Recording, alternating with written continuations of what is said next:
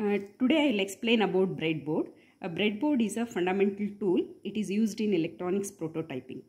It allows you to quickly and easily create and test electronic circuits without the need of uh, need for soldering and uh, it is used for making permanent connections.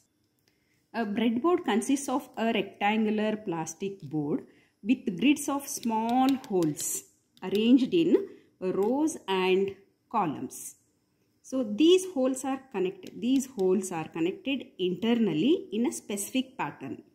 And uh, the holes in the breadboard are usually grouped into two sections with a central gap separating them. This is a central gap.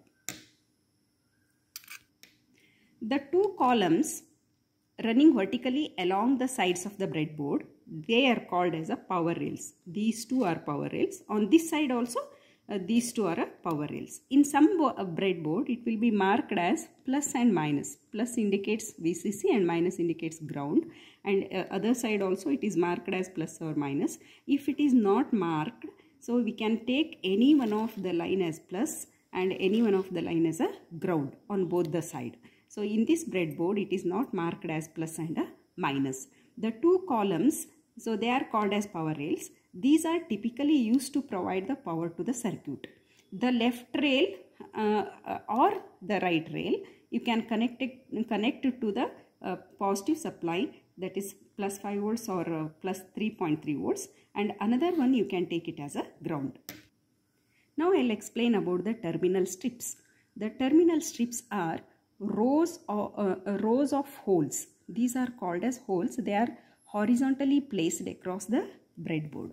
So here in power rails, these are vertical holes and uh, uh, in terminal strips, these are uh, horizontally placed. The holes in each row are electrically connected. So this the, uh, in this there are five holes. They are internally connected.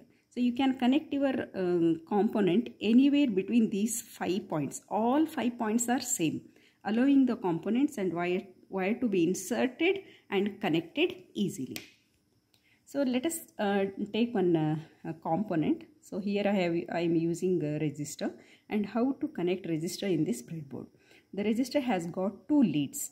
So connect one lead to horizontally five holes are there to any one of the hole you can connect. You can connect here or here or here or here or here. All the five points are same connected to one point. And another lead anywhere. So anywhere between these five horizontal five points. So I am connecting here. So you never ever connect the uh, two terminals to the same line. So it is it is not the correct um, correct connection. So because you are connecting both the leads to the same point because all five points are same. So if you want to connect resistor, one terminal should goes to here and other terminal to another hole, not the same hole. So this is one way of connecting resistor. If you want to connect another register in series, so let us take one more resistor and the first leg, leg should goes to the uh, uh, uh, second terminal of your resistor so here you have inserted. So you uh, another four holes are free now. So you connect one leg to one of the hole and insert to other hole here. So this is nothing but the two resistors are connected in series. One leg is connecting here. The other end of first resistor and the first end of second resistor they are in the same line.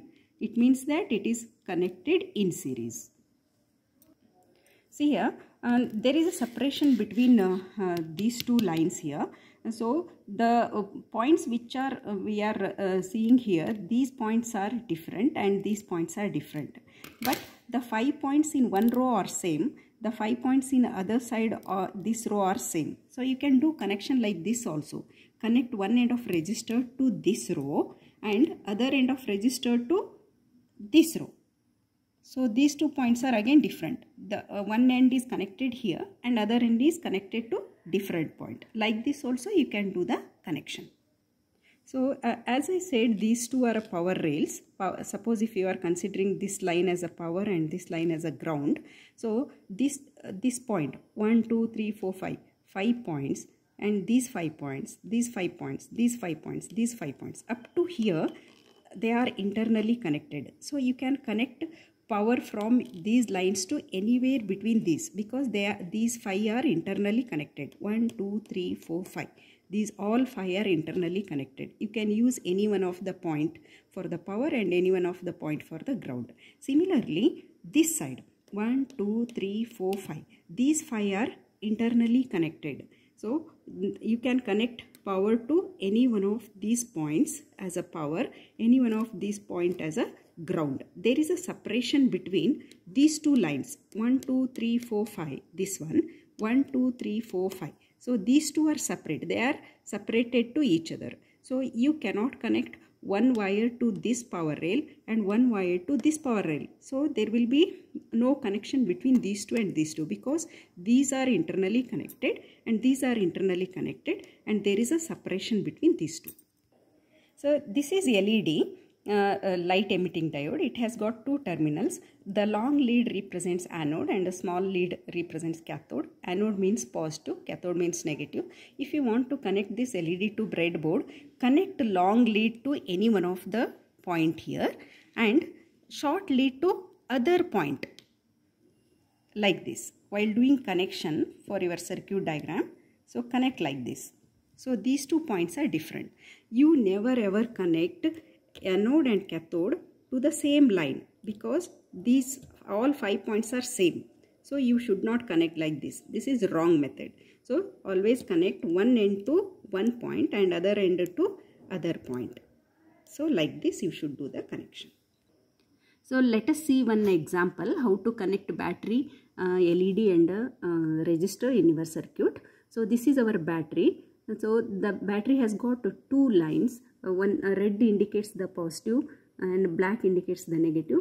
Connect the positive wire to power rail. This line i am making as a positive power rail and this i am making as a ground ground. So connect the ground to another terminal. So these two points are different as i told but these five points are similar. These five points are similar. These two points are different. That's why one uh, wire i am connecting to one hole um, this is positive and another wire to another point this is negative. And led has got led has got um, two leads long lead and a short lead. Long lead indicates anode and short lead indicates cathode. Then how to connect this? So the long lead uh, short lead you connect to ground. See this point i am connecting to this point. This is ground point. We know that all these points are same that's why i am connecting uh, uh, cathode to ground. And anode to any one of the point here. And from the same anode point connect one resistor and other end of resistor you connect to power rail. So if you do uh, this connection so your led will turn on. So the uh, connect uh, you use one battery one led and one resistor uh, so you can uh, do one experiment on this lighting the led using a simple battery. Uh, in this experiment you can use 9 volts battery and one red led and 1 kilo ohm resistor to do this experiment. Thank thank you for watching this video